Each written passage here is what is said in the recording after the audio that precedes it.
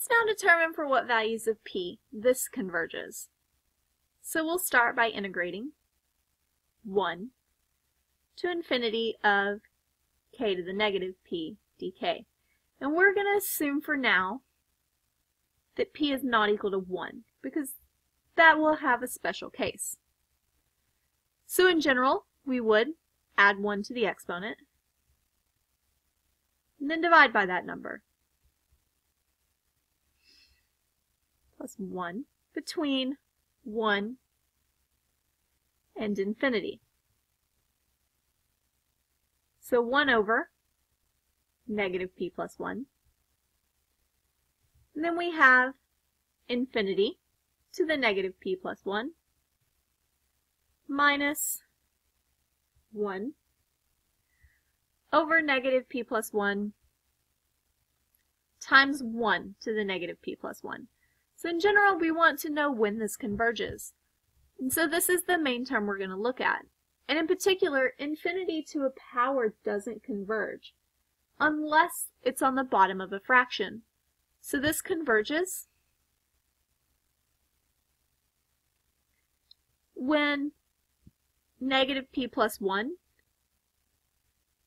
is smaller than 1. Or sorry, is smaller than 0 whenever it's a negative number. So 1 has to be smaller than p. So as long as p is greater than 1, this thing converges. However, if that exponent is positive, we will have issues. So, if 1 is greater than p, it diverges. We'll notice if 1 is equal to p, this is the harmonic series, which will also diverge. So in general, we've decided that this series converges as long as p is greater than 1.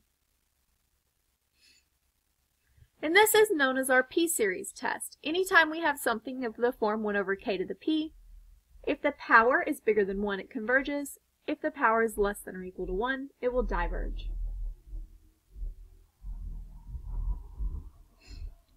For example here, if I look at the denominator, I can rewrite this as k to the 3 fourths power. And since 3 over 4 is less than 1, this thing will diverge.